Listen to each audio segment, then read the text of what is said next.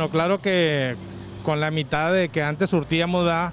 no vamos a surtir la misma cantidad. Pusimos las marcas de un metro y medio para atender a gente, para atender a la gente aquí afuera. Va a haber una persona aquí afuera atendiéndolos con arreglos aquí afuera de la florería y adentro vamos a atender, atender nada más de dos personas, ya que habíamos dos, dos, personas trabajando ahí adentro, entonces para que no haya más de cuatro personas ahí adentro. O sea, se le va a pedir el apoyo aquí a los vecinos para sus carros, que me hagan favor ¿verdad? de apoyarme ese día ¿verdad?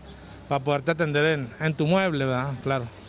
Mira, nos ha afectado demasiado, sí, nos ha afectado mucho. Estuvimos cerrado, tuvimos como seis meses estuvo cerrado la florería, este, muchos agricultores De, que se dedican a la cosecha de la flor, muchos se eh, quebraron, cerraron sus, sus ranchos, entonces ahora hay menos, menos personas este, cultivando la flor, entonces el precio subió al doble, entonces por eso es de que está un poquito cara, pero es flor buena, de calidad, de exportación, pero sí ha afectado mucho en cuestión de los precios, han subido mucho.